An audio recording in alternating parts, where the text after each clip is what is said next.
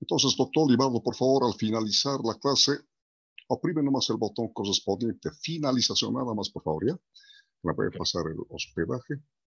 Estoy encendiendo el micrófono. Hace rato has dicho ese viejito, de eso me he vuelto a salir. Compañeros, buenas noches. Listo. ya. Muy buenas noches a todos. Buenas noches. Buenas noches, buenas noches a todos.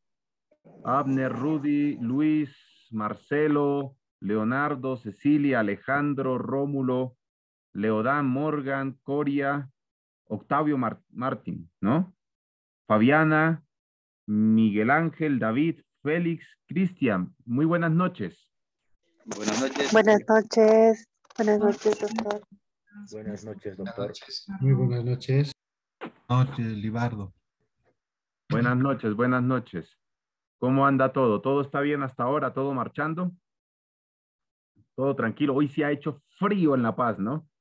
Ay, mamita linda. Hoy sí he sentido frío, pero de ese que da gusto de, de no parar de tomar café. Sí, sí, verdad. Hoy estuvo bastante frío y oscuro. Sí, sí, sí. Lo único bueno, me imagino que del día sí, que lo va a arreglar es porque juega el Tigre ahora en la noche. Y, y bueno, a ver si gana el. Tigre. A ver si gana el Tigre. Bien, compañeros, a ver, eh, vamos a hacer un, vamos a hacer un repaso de lo que, de lo que abordamos la vez pasada.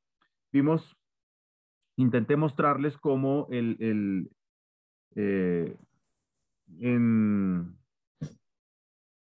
en los inicios de, del conocimiento en Europa, enfocados en, en Grecia, eh, cómo se fue pasando poco a poco de, una, de un cierre eh, del- de la posesión del conocimiento a una apertura de la posesión del conocimiento.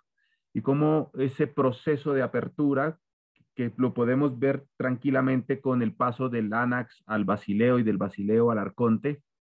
El Anax, alguien en el que está todo el conocimiento y los demás obedecen. Los Basileos, que ya son un grupo de reyes entre los cuales dialogan e intercambian conocimientos, pero que se los niegan a los cacos. Y luego al Arconte, que es el que eh, eh, eh, encierra la idea de, de- una apertura mucho mayor al conocimiento y, y en ese interín entre, el- entre los basileos y el arcontado eh, aparece la filosofía y después va a aparecer eh, la democracia. Y lo que quise mostrarles fue cómo primero se apertura un lugar, un espacio de la palabra, con el ágora, el espacio de la palabra. Recuerden, por ejemplo, en la Odisea, cómo, cómo Odiseo se lamenta de los, de los cíclopes, porque dice que los cíclopes son salvajes. Y, y- y una de las razones más fuertes para decir que son salvajes es que no tienen ágora. Bueno, en realidad los griegos, los atenienses, este, sobre todo eran muy eh, xenófobos, por decirlo de alguna manera. Es decir, lo que no era ellos estaba mal. Pero en esta idea del ágora, eh, una de las razones por las cuales concebían a los cíclopes como salvajes eh, era porque no tenían un ágora donde el- la palabra, un espacio donde la palabra eh, pudiera circular.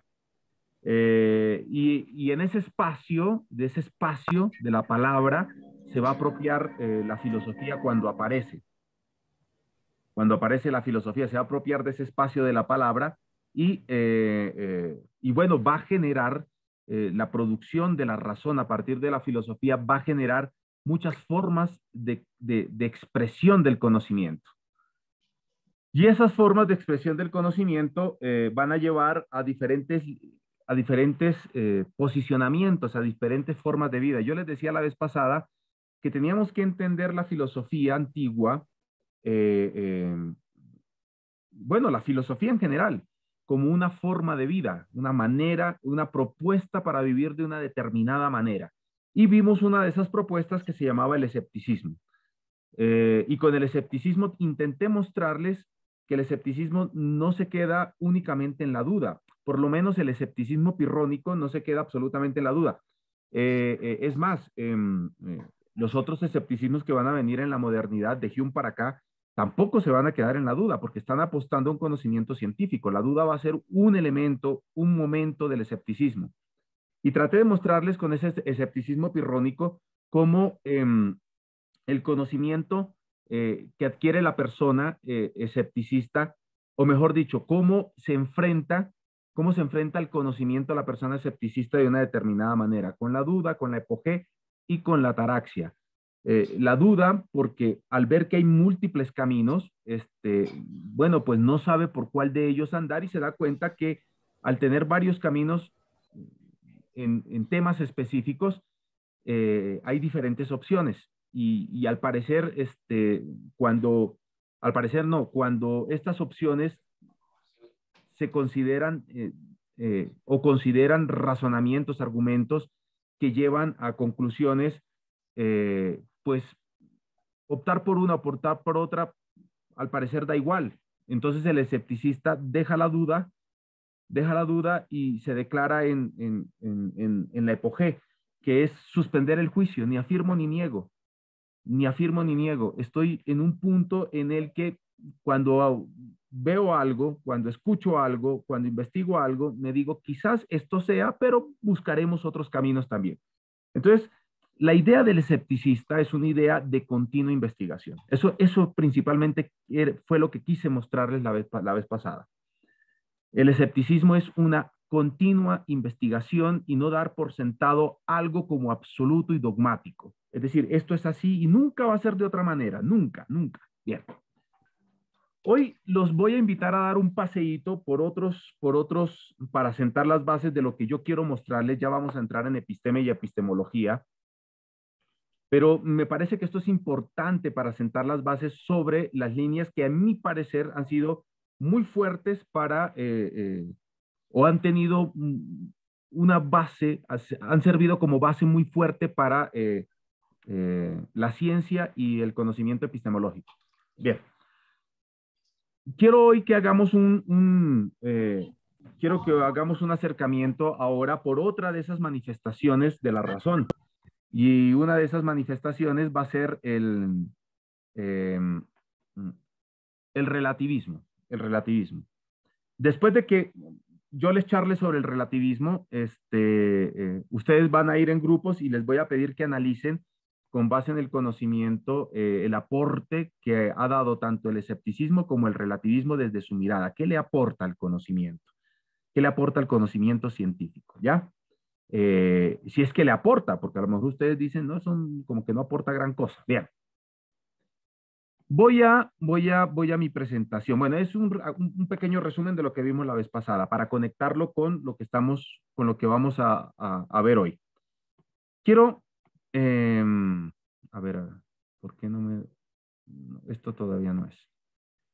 Quiero que entremos, quiero que entremos al relativismo. No encuentro mis diapositivas, aquí están.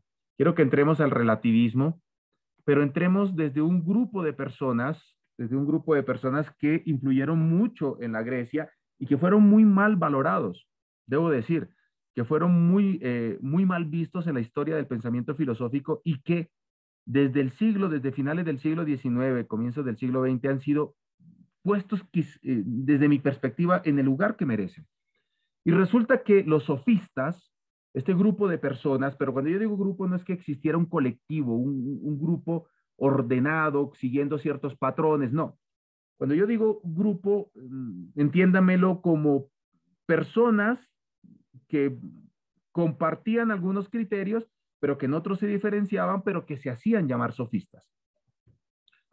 Y resulta que estos compañeros, este, eh, bueno, agarraron muy mala fama porque los desacreditaron eh, por lo que hacían y cómo lo hacían. Y, los que se encargaron principalmente de desacreditarlos, además fueron los que nosotros hoy en día tenemos como los más grandes filósofos atenienses. Eh, Sócrates, Platón y Aristóteles. Los tres se encargaron de darle palo a, a los sofistas y bueno, eso heredamos.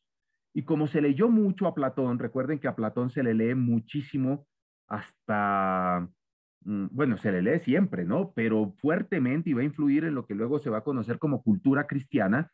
Eh, no estoy hablando de religión, estoy hablando de cultura, ¿ya? Que involucra también a la religión, pero es mucho más amplio que la religión. Eh, va, a retomar a Platón, ¿sí? Fuertemente hasta el siglo V, VI, séptimo, más o menos, ¿sí? finales del sexto. Y luego va a llegar Aristóteles por el lado de los, de los, de los, de los árabes. Eh, y claro, se consumió eso y lo que se leía en los, o lo que se lee en los diálogos de Platón y en algunos textos aristotélicos es que los sofistas eran lo peor de lo peor. ¿Pero por qué?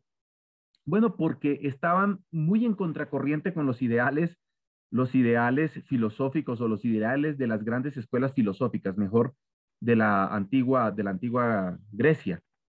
Eh, primero que el conocimiento no se cobra, el conocimiento se comparte. Los sofistas cobraban. Em, y no cobraban poco, debo decirles, cobraban y cobraban durísimo. Segundo, es más, hacían jurar ante los dioses, los llevaban a los estudiantes ante el, ante el templo más importante que existiera en la polis, eh, donde ellos llegaban y les hacían jurar frente a los dioses de que tenían que pagar y que tenían que pagar por adelantado. Y si faltaban, faltaban la promesa a Dios. Bien.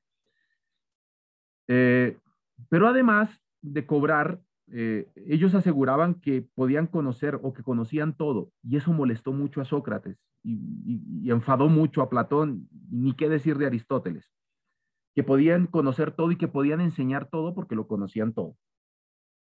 Además, el arte que practicaban, la metodología que practicaba fue muy mal vista, aunque en parte también la practicó este, este, eh, Sócrates a su manera y Platón a su manera, que era el arte de la, de la, de la dialéctica, pero desde otra perspectiva la van a practicar, este, ese, el, arte de la dialéctica, como lo enseñaban los sofistas, también pasaba a ser mal visto como metodología para las escuelas filosóficas.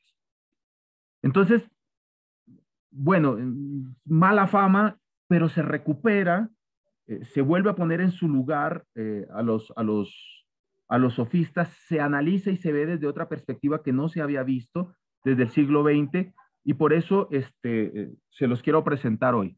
Em, vamos, yo les preparé un paseíto virtual, un paseíto virtual, lo terminé de arreglar, yo más o menos tenía esbozado algo desde hace unos meses, pero lo terminé de, arreglar para ustedes. Voy a copiar este link y les voy a pedir que hagan el paseíto ustedes solos. Em, el paseo es este, les voy a mostrar acá les tiene que aparecer esto, los sofistas y el relativismo, y ustedes se van a mano derecha, van pinchando, en algunos puede ser más lento que en otros, debo decir, ¿no? Eh, van pinchando y van dando el tour. Deténganse, por favor, en la lectura, vayan dándose cuenta qué es lo que les quiero presentar. En algunos hay unos videos, ¿sí? Entonces, por ejemplo, acá donde aparece este para pinchar, entonces ustedes colocan el cursor, pinchan y va a aparecer un videíto y lo ven. ¿Ya? Eh, y luego que lo vean, bueno, van siguiendo, van siguiendo eh, la dinámica que yo les estoy proponiendo, ¿no? Que tiene un orden. En este momento, como esto no tiene QR, en este momento lo voy a, lo voy a copiar en el, como hemos trabajado la vez pasada, lo voy a copiar en el, en el, en el chat del Zoom y ustedes hagan el paseíto. El paseíto va a durar alrededor de 7 a 10 minutos dependiendo de ustedes. Eh, eh, por favor, anoten algo que ustedes digan, pucha, no estoy entendiendo, qué habrá querido decir acá. Y luego lo, lo, podemos explicar para que se entienda mejor. Y, eh, y, en este, y este paseíto va a, va a poner las bases de lo que yo les quiero mostrar con eh, respecto a el relativismo y los sofistas. Muy bien, vamos al chat, compañeros. Vamos al chat. Ahí está. Entonces, pinchen, pinchen ahí. Les digo, algunos puede ser más lentos. Donde sea video, llevan el cursor al centro y les va a aparecer el, el, eh, este, el video de YouTube. Bien, entonces, en 10 minutos nos vemos. De 7 a 10 minutos. ¿Listo? Lean bien, vayan analizando la secuencia que yo les quiero mostrar y nos vemos al rato para charlar. ¿Listo? Por favor, vayan al chat del Zoom y pinchan el, link que les acabo de, de compartir.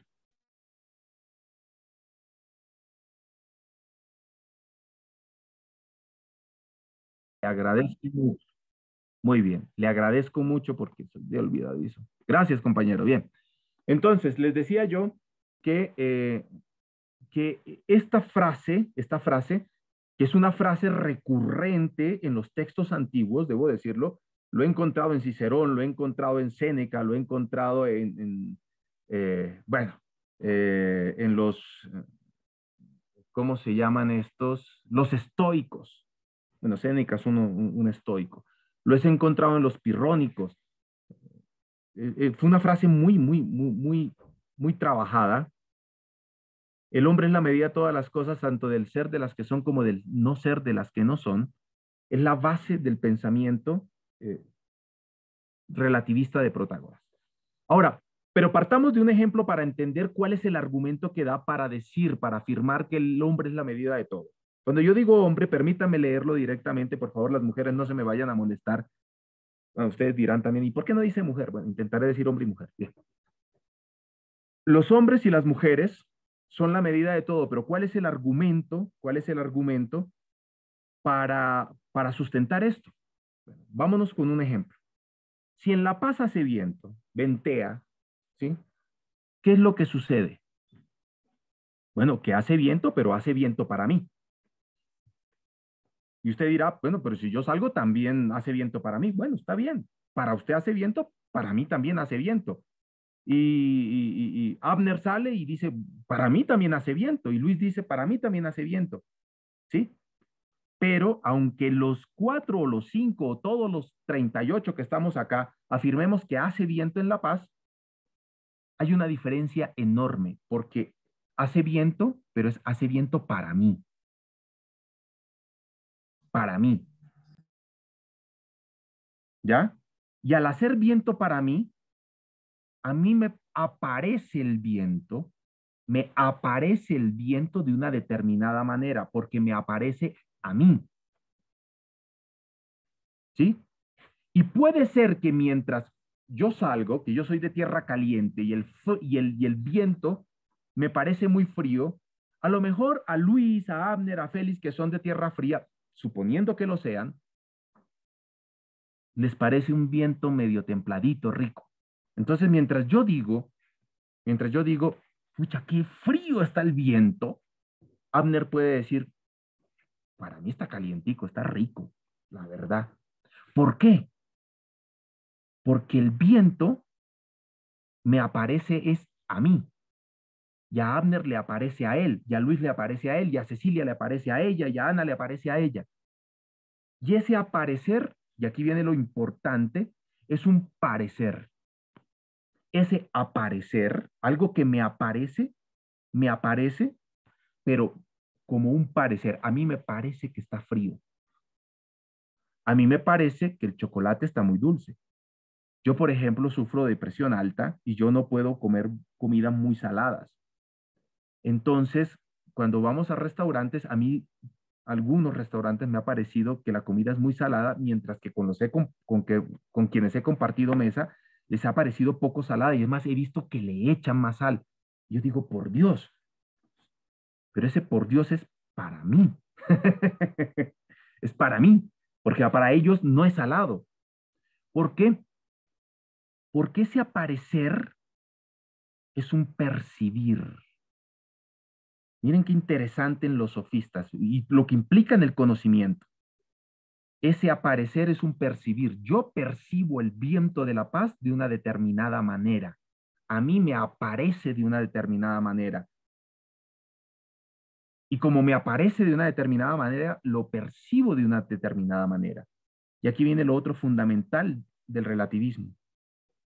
Las cosas son como se perciben. Miren qué interesante. Es decir, las cosas no son como son para todo el mundo. No, las cosas son como cada uno las percibe. Agustín decía, San Agustín decía, Ahora ya no me acuerdo en qué texto. San Agustín decía, pero es, y Santo Tomás también va a decir lo mismo. Va a decir, pero es que este, cuando alguien está enfermo, cuando alguien está enfermo, la comida más deliciosa le puede repugnar. Pero cuando está sano, le encanta y se la come con un gusto. Y es la misma comida. Agustín y Santo Tomás lo colocan con el ejemplo de la miel. ¿Sí? si yo le doy miel a alguien que está sano, pues le va a parecer dulce y deliciosa. Pero a alguien que tenga alguna enfermedad que le lleve a que le parezca hiel, no miel, hiel, pues le va a parecer asquerosa.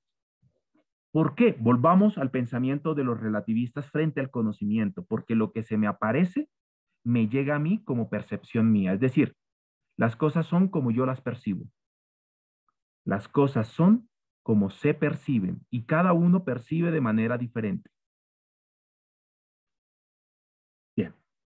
Hasta ahí me estoy dando a entender, compañeros. Sí, dedito arriba si me estoy dando a entender. ¿Hay alguna pregunta aquí hasta acá? Bien, excelente, excelente. Las cosas son como se perciben.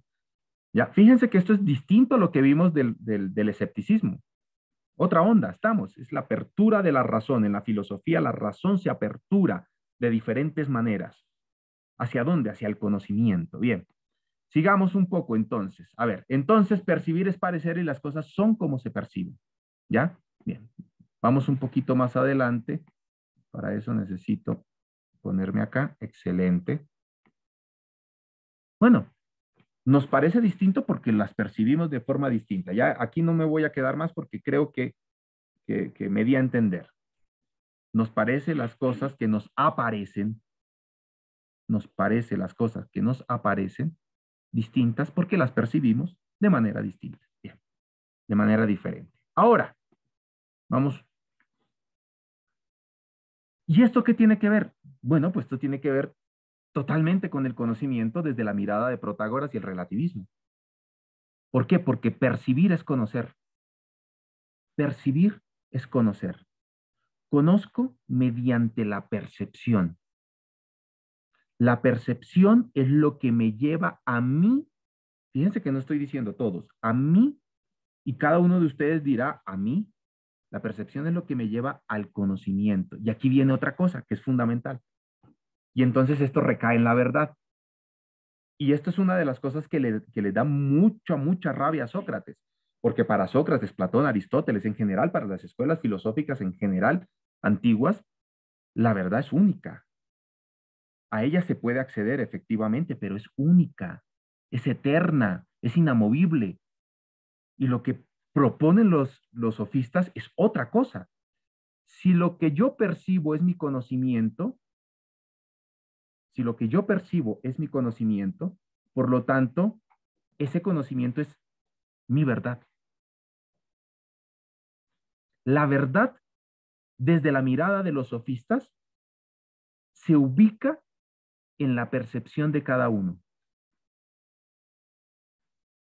Vuelvo a repetirlo. La verdad se ubica en la percepción de cada uno. Lo que yo percibo es lo que conozco y lo que yo conozco es la verdad.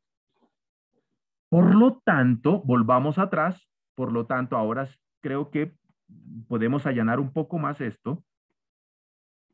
Podemos allanar un poco más esto, permítanme volver acá. El hombre es la medida de todas las cosas.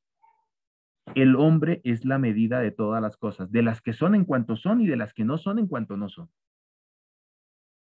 ¿Por qué es la medida de todas las cosas? Porque el parámetro de verdad, el parámetro de la verdad es cada uno. El parámetro de la verdad es cada uno. Bien. Vamos un poquito más adelante. Voy a volver. Voy a volver hasta donde estábamos. Entonces la verdad no es una verdad universal. Cada uno tiene sus, sus verdades. Cada uno tiene sus verdades. La verdad pasa a ser la verdad pasa a ser una apropiación de la percepción de la persona. Bien. Vamos un poquito más adelante. Y bueno, si es así, todos conocemos de manera diferente. Todos conocemos de manera diferente. Y es más, una misma persona puede conocer algo de manera diferente en momentos distintos. Puede llegar a conocer algo de manera diferente en momentos distintos. ¿Por qué? Porque todo va a estar basado en la percepción que tenga en un momento sobre aquello que se le aparece. Y eso va a ser un conocimiento y va a ser la verdad para él. Bien. Vamos ahora, ya tenemos, ya tenemos el principal argumento de, de Protágoras. Es este. ¿Cómo fundamenta esto de que el hombre es la medida de todo frente al conocimiento? El hombre es la medida de todo. Bueno, lo argumenta a partir de la percepción. Lo que yo percibo es lo que conozco, lo que conozco es mi verdad. Por lo tanto, yo soy la medida de esa verdad. Yo soy quien mide esa verdad. Bien. Sócrates le va a replicar porque no, no está de acuerdo con, con, este, con este tipo de, afirmaciones que hace, eh, que hace Protágoras. Y va a decir, eh, bueno, basémonos en lo que usted está diciendo, señor Protágoras, basémonos en lo que usted está afirmando sobre esto de la percepción, el conocimiento y la verdad y que cada persona es la medida de... Y lo primero que va a refutar es, pues entonces Sócrates le va a decir a Protágoras, pues entonces no tiene ningún sentido evaluar ningún conocimiento. ¿Qué sentido tiene evaluar un conocimiento si todo es verdad? Si para usted es verdad algo y para mí es verdad otra cosa y para él es de otro, pues el único, eh, el único criterio o, los únicos que pueden poner criterios para evaluar un conocimiento es la misma persona, pero ni siquiera necesita criterios, porque ya ha aceptado que lo que percibe es conocimiento y el conocimiento es verdad. Entonces, caeríamos, caeríamos desde la mirada de Sócrates, refutando a, a Protágoras en su relativismo, caeríamos entonces en que todo lo que diga todo el mundo es verdad. Entonces, desde las cosas más profundas hasta las cosas más tontas, pasan a ser verdad. ¿Por qué? Porque cada quien lo dice. Y llegaríamos a otro, a otro punto que es muy complicado, que es que entonces no se podría juzgar, sería una falta de respeto juzgar las opiniones de los demás, aunque digan burradas, porque es su verdad. Y dice Sócrates, no pues, por ahí no va el asunto. No puede ser así. No puede ser que no se pueda juzgar las opiniones de los demás porque cada uno es lo que percibe y ese es su conocimiento y esa es su verdad. Y entonces, como es su verdad, cada uno tiene su verdad y no se puede juzgar la verdad de los demás. No, porque entonces no habría un conocimiento. El conocimiento se reduciría solamente a un individualismo del conocimiento. Bien, primera refutación de Sócrates. Miren qué interesante cómo se plantea, cómo se planta Sócrates frente, frente a la mirada de frente a la mirada de Protágoras. Segunda cosa que le va a decir Sócrates, le va a decir, bueno, si es así, no hay ningún necio en esta vida. Todos son sabios. Porque si cada uno es la medida de todas las cosas en cuanto que son y en cuanto que no son, en cuanto que existen y en cuanto que no existen, en cuanto que están o no están, entonces no hay necedad. Todos son sabios y todo lo que diga cada persona es sabiduría. Y Sócrates dice, ¿y de aquí a cuándo eso? ¿De aquí a cuándo eso? Y si esto es así, que cada uno lo que diga es verdad, entonces el ideal de educación griego, que se le llamó, se le conoció como paideia, bueno, es, decir, después le dieron el nombre de paideia, no es que ellos le hayan dado el nombre de paideia, pero tenían un ideal de educación muy fuerte los, los griegos. Yo tengo un textito a ver, ¿dónde está por acá? Ese ya se agotó, les voy a mostrar. Permítanme un segundito. Que es de un capitulito que les coloqué de lectura este que se llama Filosofía de la Educación de Homero a Platón, que llegó hasta su tercera edición y se agotó y ya no quise sacar más. Porque, porque, bueno, ya no. Este, entonces, ¿para qué educar? En ese textito yo explico el ideal de Paideia en los griegos. ¿Para qué educación? Si cada uno es, es la verdad, cada uno desde lo que percibe tiene su propio conocimiento y eso es la verdad, ¿para qué este ideal que nos hemos forjado para educar a las generaciones futuras? Bien, fíjense que lo que dice Sócrates, lo que dice Sócrates es muy fuerte y la refutación está muy bien argumentada. Y por último, y por último, va a decirle a Protágoras, bueno, si el conocimiento es percibir, es mientras yo percibo, entonces solamente tenemos un conocimiento del instante que estamos viviendo. Miren qué interesante. Entonces solamente, si todo es relativo a cada persona y cada persona es la medida de todo, entonces el conocimiento solamente está supeditado al instante en el que vivimos y en el que estamos experimentando. Es decir, la memoria no sirve para nada. Lo que se ha acumulado como humanidad y que hemos heredado en el conocimiento como memoria colectiva tampoco sirve para nada. ¿Y por qué no sirve para nada? Porque no es algo que yo estoy percibiendo ahora. Y como no estoy percibiéndolo ahora, pues no es conocimiento. Entonces eso sería la destrucción del conocimiento. Ese conocimiento que se hereda, que se propone a las generaciones futuras, que se ha indagado, que se ha... Bien. Esto, estas son las refutaciones que hace Sócrates con respecto al, al relativismo propuesto. Pero el teeteto, que es el diálogo en el que nos estamos basando, Protágoras no se queda callado. Protágoras le va a responder a Sócrates y le va a responder dando otros argumentos que van a defender el relativismo. Y vamos a ver en el análisis que ustedes van a hacer después si van a estar ustedes de acuerdo con esto que yo les voy a mostrar o no. Bien. Ya Sócrates le dijo, mira, lo tuyo no va por A, B y C. Entonces, le va a replicar Protágoras. ¿Sí? Y le va a replicar de la siguiente manera. A ver, que cada uno sea la verdad, va a decir Protágoras, que cada uno tenga la verdad, que cada uno a partir de su percepción tenga el conocimiento y con ella la verdad, eso no quiere decir que todas las personas sean iguales y que todo lo que digan las personas sea iguales. Quiere decir que cada uno tiene su verdad. ¿Sí? Pero no hace que todas las personas sean iguales. Y Sócrates le dice, a ver, explícame mejor eso, porque no te estoy entendiendo. Y Protágoras le dice, a ver, no es lo mismo la opinión de un médico que sabe medicina a alguien que no sabe medicina. No va a ser lo mismo. Ahora, si alguien que no sabe medicina cree que se puede curar solo y esa, esa es su verdad, o cree que una persona que no es médico y que no tiene ningún conocimiento sobre medicina o de medicina natural o de medicina tradicional o ancestral, cree que lo puede curar, bueno, esa es su verdad, allá él. Pero eso no quiere decir que las opiniones vertidas por el, médico o alguien que no sepa de medicina sean iguales. No se trata de que una sea más verdadera que otra, se trata de que unas opiniones son más útiles que otras. Mire la salida que pega, que pega Protágoras con respecto a su relativismo. Cada uno está en su verdad. No deja de estar en su verdad. Y cada quien mira su verdad. Y eso lo va a retomar eso lo va a retomar el anarquismo epistemológico, que se los voy a mostrar después.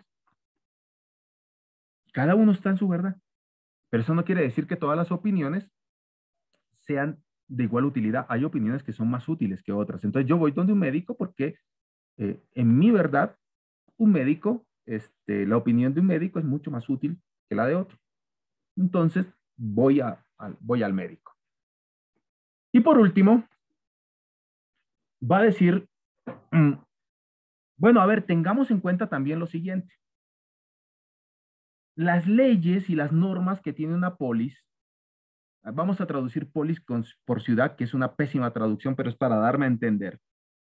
Porque en realidad, para decir ciudad, los griegos tenían una palabra que era astis, porque astis es el lugar geográfico en donde estaban las casas. En cambio, polis tiene que ver es con el ser humano, con la persona, por eso la polis se podía mover aunque las casas se quedaran, los edificios se quedaran, los templos se quedaran. Pero vamos a entender polis por ciudad, para darme a entender, no más.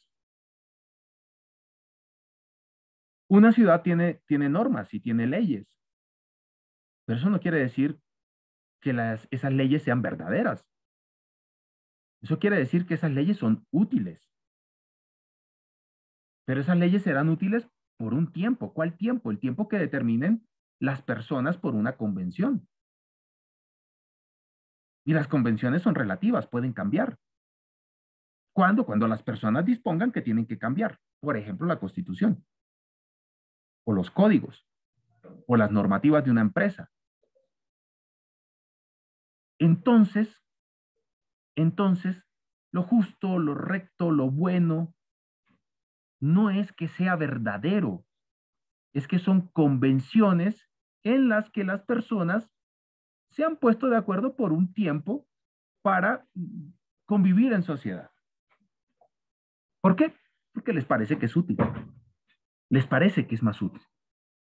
Si miren ustedes, por ejemplo, no sé, yo no conozco mucho de la 1565, pero miren ustedes eh, lo que se planteó en la 1565 y miren lo que se planteó en la, en la 060. ¿Verdades absolutas o convenciones? desde la mirada. Quiero que lo miren desde la mirada de Protágoras, que se pongan en la piel de Protágoras. Les pareció que es más útil ahora. Capaz de que un tiempo les parece que no. Y se cambia. Bien. Paremos acá. Hasta acá, ¿me estoy dando a entender? ¿Me estoy dando a entender con esto del relativismo? Dedito arriba así. Si hay alguna pregunta, si hay alguna sugerencia, si hay algo que quieran aportar, bienvenido. Abrimos el espacio. Bien. Excelente. Entonces, no es, resumiendo, la réplica de Protágoras no es que cada uno no tenga su verdad, sí tiene su verdad. Lo que pasa es que las opiniones, unas pueden ser más útiles que otras. Y en las convenciones que se tengan, sí, unas convenciones son más útiles que otras. Por eso las convenciones en cuanto a normas y leyes difieren de una polis a otra, va a decir, va a decir Protágoras. De un país a otro va, de una ciudad-estado a otra va a diferir. Bien, Abner. Libardo, se parece bastante, ¿no? A la discusión que hay entre la investigación cuantitativa y la cualitativa. Porque en las, en las investigaciones que son cualitativas, como saben los colegas, en ciencias sociales no somos capaces de juzgar a las culturas, el pensamiento de las sociedades, de las tribus, peor todavía si nos vamos al plano de los individuos. Entonces, un antropólogo tiene que partir por eh, respetar la idiosincrasia tal vez de esa persona. Puede que esa persona diga incoherencias, puede que para esa persona inclusive su Dios sea eh, Mickey Mouse, por ejemplo, pero de todas maneras eh, lo toma como algo que se puede estudiar. Pero en cambio la investigación cuantitativa ya es más objetiva, ¿no? Entonces a ellos no les interesa, por ejemplo, las opiniones, le interesan los hechos. Entonces, peor todavía si estamos hablando, por ejemplo, de de lo real, lo que es fáctico. Entonces, parecería ser que por ahí anda la génesis de, no sé si vale el, vale el término, este, Ibardo, la génesis de, una postura que es, digamos, em, positivista, objetivista, y otra que es subjetivista y que va más hacia las ciencias eh, sociales con la metodología cualitativa. Eso, sí, es una interpretación interesante. Yo no había hecho esa interpretación, Abner, debo, debo, debo decirle. No, no, no había puesto a comparar el relativismo con esta, esta disputa, que en principio no fue tan disputa, debo decirles, ¿no? Ustedes conocen muy bien que en principio lo cualitativo quería asemejarse a lo cuantitativo, entonces mucha disputa no había. Lo que había era sacar de lo cuantitativo para ver qué cosas podían aplicarse en lo cualitativo para que lo cualitativo tuviera el grado de objetividad que se le daba a lo cuantitativo. Lo cualitativo tiene sus grados de objetividad, pero se miden de otra manera, de otra forma distinta. Después fue que se empezaron a sacudir, comenzaron a darse cuenta que la cosa no funcionaba tanto así. Desde Dilthey, ¿sí? Con la hermenéutica este, que él propuso, que él se dio cuenta porque hasta él intentó, hasta él intentó lo cuantitativo aplicarlo en, el pensamiento, este, en el conocimiento que él estaba desarrollando y luego dice, no, y él propone eh, la filosofía del espíritu, no hablo de lo de Hegel, hablo de el espíritu humano para entenderlo. Bueno, y luego, por ejemplo, ustedes tienen a los sociólogos, ¿no? Los primeros sociólogos este, fuertes del siglo XX, a eso me refiero. Este, Durkheim, Durkheim decía, vamos a ver los hechos como cosas. ¿Y eso qué es? Una mirada cuantitativa. Entonces, mira, Abner, yo no me había, yo no me he puesto a pensar, pero me parece interesante lo que usted propone y se podría hacer un análisis ¿sí? Este, eh, de, ese, de, esa disputa, porque luego sí va a venir la disputa, porque eh, lo cuantitativo le decía lo cualitativo, o los, los estudios de las ciencias naturales le decían a los estudios de las ciencias sociales, para que ustedes sean ciencia, tienen que hacer lo que nosotros hacemos, y ya el hermano menor se reveló y dijo, no, no le vamos a hacer caso, y comenzaron a proponer sus métodos, sus técnicas, sus herramientas, sus instrumentos, todo eso. Pero interesantísimo lo que usted propone, Amner, debo decirlo. Muy bien, muchísimas gracias. vamos a terminar esto porque se van a ir ahorita a, a trabajar en grupo, a discutir una, una preguntita. Vamos a terminar esto. Entonces, lo que está proponiendo, muchísimas gracias a los que participaron, lo que está proponiendo Protágoras es, este, pues mire, la verdad sigue siendo de la percepción y el conocimiento que cada uno tiene de lo que le aparece. Eso no va a cambiar. ¿Sí? ¿Por qué? Porque el hombre y la mujer son la medida de todas las cosas. ¿Sí? Pero hay opiniones que son más útiles que otras. Entonces, viene bien prestarle atención a las opiniones que son más útiles que otras, lo cual no quiere decir que sean verdad, quieren decir que son más útiles. Tan así, quieren decir que son más útiles. Bien. Y Sócrates le va a terminar de responder, le va a terminar de responder y le va a decir, bueno, entonces, si lo que usted propone es así, entonces todo aquel que no sea relativista va a estar en lo cierto. Y Protágoras le dice, pero ¿cómo es esto? Le pregunta, pero ¿cómo es esto? Dice, sí, claro, claro, porque si a mí me parece que es más útil no creerle a usted, entonces, este, lo que usted haga, lo que usted diga, no tiene ningún sentido, no tiene, no tiene ninguna importancia. Entonces, que lo diga, que no lo diga, va y viene. Va y viene. Y al final Sócrates le dice, eh, no amigo, como usted está planteando el asunto, no va, porque en, ese sentido de que percibir es conocer y que el hombre y la mujer son las medidas de todas las cosas, porque percibir es conocer y cada uno tiene la verdad, eso no es así. Y no es así porque la verdad, la verdad, pero ubiquémonos en la, en la mentalidad griega, ¿no? La verdad es única y es para todos. No puede ser que cada uno ande por el mundo con sus propias verdades y diga, no, no hay ninguna verdad para todos. Bien. Fíjense lo interesante, lo interesante que es el relativismo. ¿Y por qué les digo yo que es interesante? Porque va a ser un caldo de cultivo para pensadores, para filósofos y también este, eh, para análisis de la ciencia, de la epistemología y de la epistemología. ¿Qué hacemos con esto del relativismo? ¿Es un problema? ¿O no? ¿O no es un problema? Es algo que ayuda. O a veces es problemático y a veces ayuda. ¿Qué hacemos con el relativismo? Bien. Voy a, a ver, vuelvo acá. Vuelvo acá. Bien. Y ¿se acuerdan la dinámica que tuvimos la vez pasada de, escanear y de, y de em, de escanear o de copiar el drive, vamos a hacer lo mismo. Vamos a donde dice relativismo. Vamos a donde dice relativismo. Los que tienen escáner QR, les pido por favor que escaneen. Los que no, no hay ningún problema porque en este momento les copio. Les copio y em, les copio en el chat del Zoom y ahí lo pueden, ahí pueden pinchar. Y ahí va. Bien, les voy a pedir que lean eso. Yo lo saqué de Heródoto, de Heródoto. Les voy a pedir que lo lean, por favor. Pinchen ahí, vayan al chat del Zoom, vayan al chat del Zoom y pinchen ahí y lean ese textito chiquitito que les estoy colocando. you.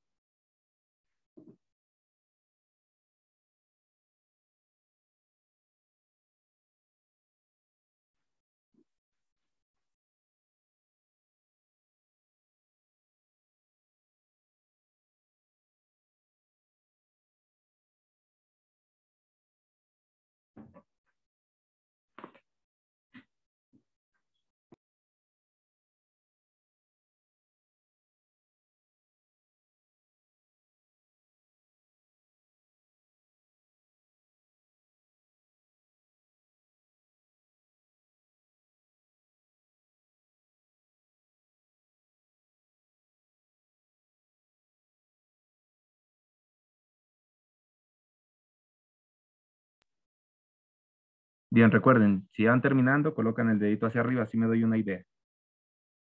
Excelente, Félix. Muy bien, Cecilia, excelente. Muy bien, Abner, excelente. Leonardo. Davis. Muy bien, Luis, Jorge, Rómulo, Daniel. Alejandro, muy bien, muy bien, muy bien, ya, ya lo leímos, excelente. Joel. Bien. Eh, solamente para que sepan, este, este, muy bien, Rubén. Este texto da lugar a uno de los ensayos más bonitos que yo he podido leer de Popper, de Karl Popper, que es uno de los epistemólogos más importantes del siglo XX. Un ensayo hermoso que se llama El mito del marco común. Les recomiendo que lo lean en un momento de ocio, de gusto. Léanlo, El mito del marco común. Empieza con este texto. y él, este, y si no estoy mal, él dice que cuando leyó a Heródoto, este, le surgió la idea esta de, de, hablar sobre esto del mito del marco común. Bien. Fíjense. Relativismo. El pensamiento de Protágoras da lugar al relativismo. Y esto es un ejemplo de relativismo.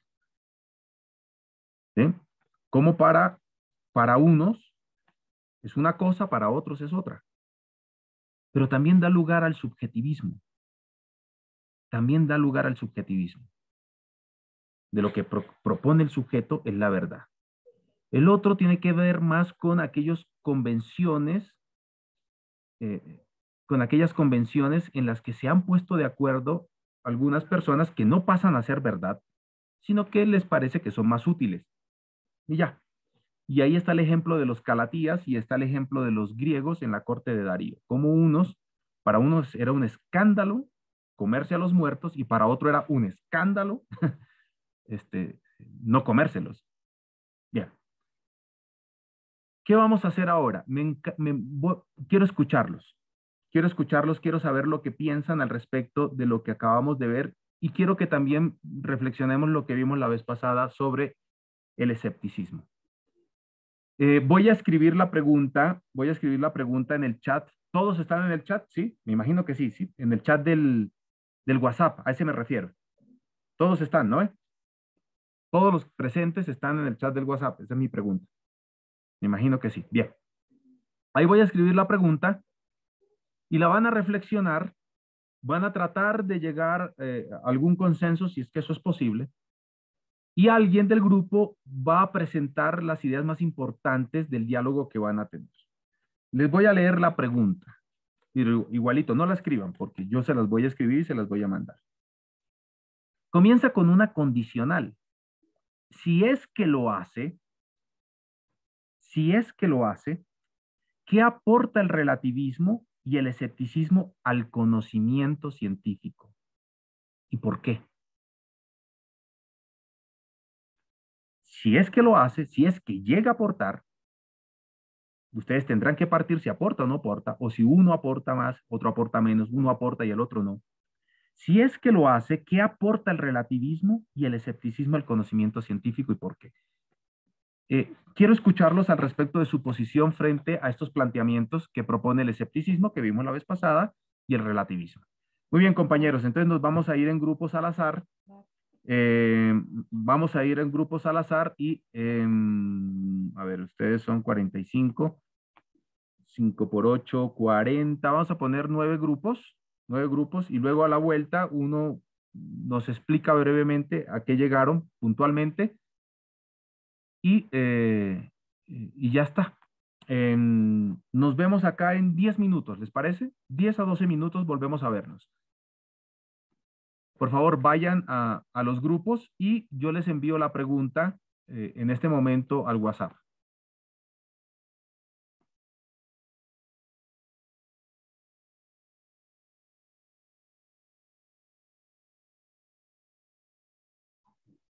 Vayan, por favor, tienen que ir yendo a sus grupos. Vayan, vayan, vayan, vayan. En este momento escribo la pregunta al WhatsApp. Permítanme un segundito.